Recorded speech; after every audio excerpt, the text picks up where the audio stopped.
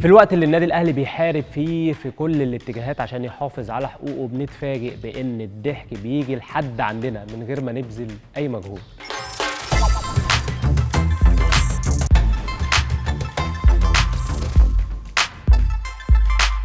قبل ما نتكلم عن الضحك عايزين نشوف الوضع الحالي إيه. النادي الأهلي خلاص أيام قليلة ونهائي دوري أبطال أفريقيا هيكون خلاص هيتلعب.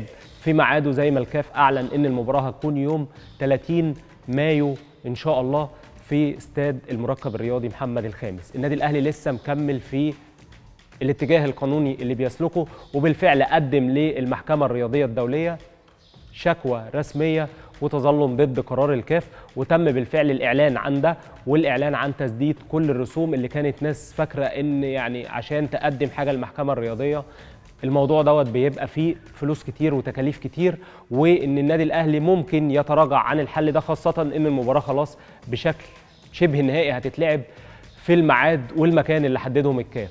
طيب إيه الوضع دلوقتي؟ الوضع دلوقتي إن النادي الأهلي خلاص بقى بياخد الخطوة الثانية إحنا دلوقتي في الطريق للحفاظ على حقوقنا خلال الفترة اللي هيكون النادي الأهلي إن شاء الله متواجد فيها في المغرب. الاتجاه القانوني خلاص إحنا ماشيين فيه ما فيهوش أي مشاكل خالص إنما اتجاه بقى الكورة والملعب والمباراة و90 دقيقة بتاعه نهائي دوري أبطال أفريقيا الثالث على التوالي فيها كلام كتير قوي. أول حاجة من الكلام الكتير قوي ده إن بيتم التجهيز لاصطحاب مجموعة كبيرة جدا من جماهير النادي الأهلي مع الفريق. للمغرب لدعم النادي الأهلي في المباراة النهائية.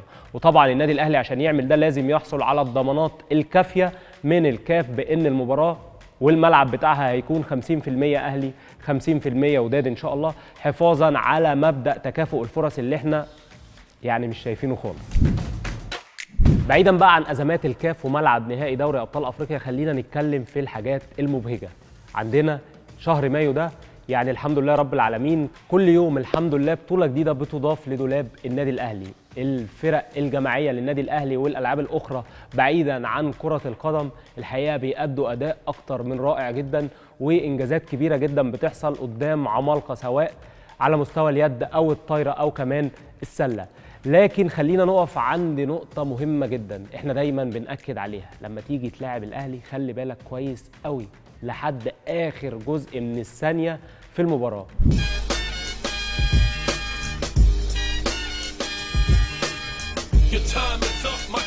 now.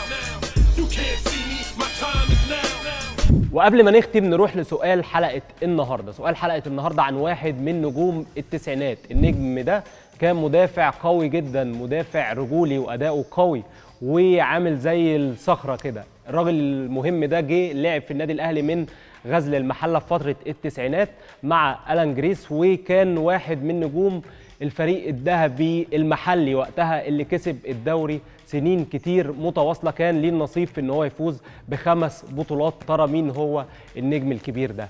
وخلينا أفكركم بإجابة سؤال الحلقة اللي فاتت اللي كانت يعني ناس كتير عارفاها خاصة لما قلنا إن هو كان بيلقب بالفناجيلي الصغير. وهو طبعا نجمنا الكبير كابتن خالد جد الله كان معاكم أحمد عصام ونتقابل إن شاء الله الأسبوع الجاي وحلقة جديدة. ويلا يا أهل.